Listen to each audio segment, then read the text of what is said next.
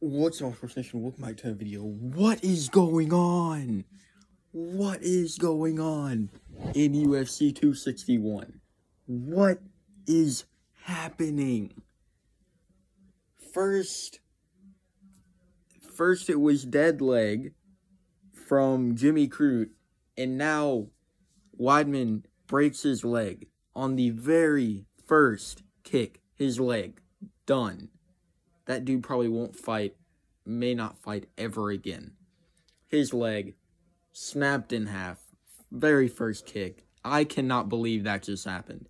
On back to back fights, Crute with the dead leg, and now Weidman, the very, very first kick, in like the first 10 seconds, his leg is done, and so is he. And Uriah Hall is going to get the win.